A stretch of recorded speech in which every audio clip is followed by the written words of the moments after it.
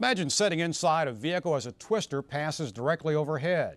Starting tonight, you can experience just that at the Louisville Science Center with the debut of a new IMAX film, Tornado Alley. Marissa Alter uh, joins us now with a sneak preview of that movie. Marissa? Well, Steve, thanks to this vehicle, it's Mother Nature as you've likely never seen before. The heart of a tornado on a four story tall IMAX screen. 1999, filmmaker Sean Casey became enamored. His new passion, tornadoes.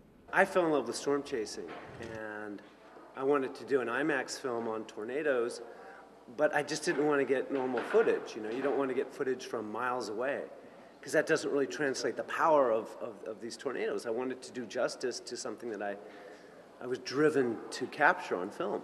Casey was determined to do something never been done before capture images on an IMAX camera from inside a twister. So he built this the Tornado Intercept Vehicle, or TIV. The hydraulics control these panels, so when you're going down the road, these panels are up. Then, of course, when you get in your spot, um, you put these panels down so you don't get wind getting underneath the vehicle. This is what Casey and his crew drove directly into funnel clouds, where winds reach nearly 200 miles an hour. The 14,000 pound armored tank can withstand a direct hit. It was utterly thrilling because, you know, you, as a filmmaker, you're immersing yourself in your subject matter. The result is Tornado Alley. gotta get the camera up. A heart pounding IMAX film that takes audiences on a quest to experience a tornado's power at point blank range.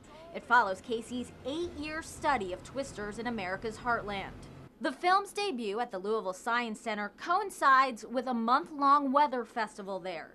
WLKY has joined in the fun too with an interactive exhibit, complete with chroma key wall and technology displays. You can be a meteorologist at the WLKY exhibit. You can also make your own weather tools and just learn all about the different types of weather. And you can cap off your experience by seeing Tornado Alley in IMAX. So it's just a great thing for, for the whole family. Now, one more thing about the film. Casey included a bit of a wink wink to the audience by having actor Bill Paxton narrate. Paxton, of course, starred in the movie Twister, which was about storm chasing 15 years ago. Now, tonight's premiere is sold out, but the IMAX film is here at the Science Center through April. WLKY is a proud local sponsor. Live from the Louisville Science Center, Marissa Alter, WLKY.